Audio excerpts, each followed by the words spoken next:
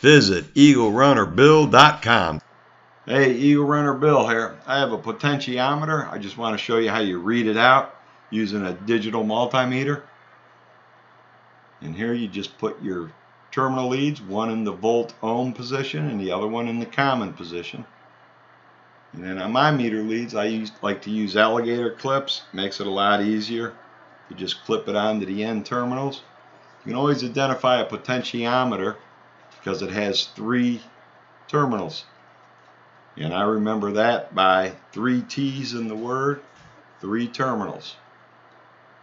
Okay, so I take my leads and I connect one lead to the end of the terminals and one in the center terminal. And that way we're reading one side. Go ahead and turn on your ohm meter, put it in the ohms position. Should go to automatic. And this is reading 1044 ohms. That's also 1 1K 44 ohms.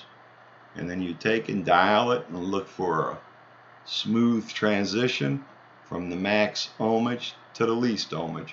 Here it's reading 2.6, 2.5. That's probably the resistance in my wiring in my connections.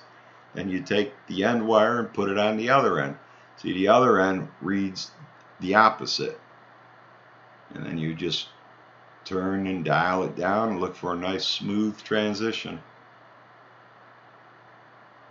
And you know you have a good rheostat. Plug it in from end to end and you just read through the resistor. That's all there is to it. Thanks for watching.